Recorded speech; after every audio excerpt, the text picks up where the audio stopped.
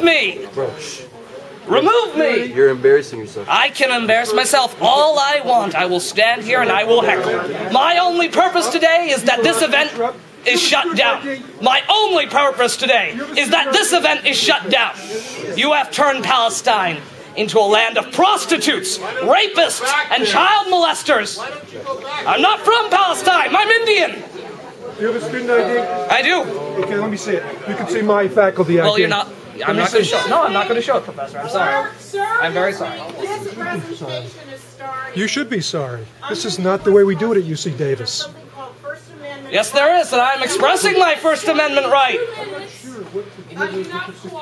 You are in violation of Penal Code 403, which is to intimidate or harass or. It is not in the violation of Penal Code 403.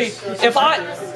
Start. Okay, go ahead. This is not the way UC, we do it at UC Davis. And if you don't have the guts to show me your student ID, this is my faculty. This is my faculty ID. Okay, your name is. Well, then.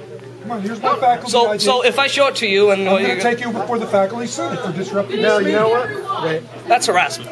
That's not her- harassment. It's That's for you to be able to disrupt this. No, absolutely Let me see not. your All right, well, then I'm, I'm not going to. Okay, I like you to take his picture. We'll figure it out with the dean. That's okay. Otherwise, you could sit down and attend and be polite like everybody else at UC Davis.